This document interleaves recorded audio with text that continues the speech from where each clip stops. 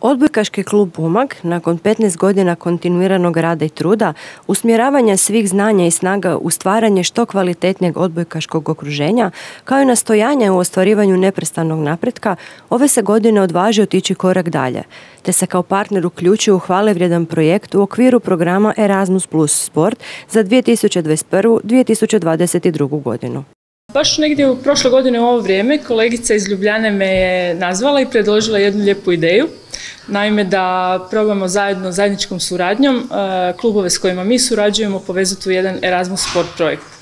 Ideju sam naravno predložila i odbojkaškom klubu Umag s kojim surađujemo evo već e, osmu sezonu za redom na obostrano zadovoljstvo i vrlo uspješno.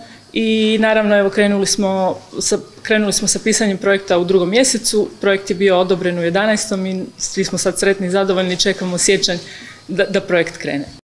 Riječ je o projektu pod nazivom Take Care of Your Coach. Nositelj je športno društvo Riba iz Ljubljane, dok su uz odbojkaški klub Umag partneri kajak klub Akoli iz Italije te klub zimskih sportova Kirdov iz Tirola. Glavni cilj projekta je u biti osvijestiti znanja e, i, spoznaje o tome koliko je bitno održavanje mentalnog zdravlja trenera i sportskih djelatnika općenito, s obzirom na da je njihov posao vrlo stresan i u okruženju u kojem rade, tako da smo se željeli malo usmjeriti više na njih. Rezultati projekta bit će vidljivi i u obliku digitalnog priručnika za trenere te video edukativnih sadržaja i materijala koji će biti javno dostupni na specijaliziranoj web stranici projekta kao i na društvenim mrežama.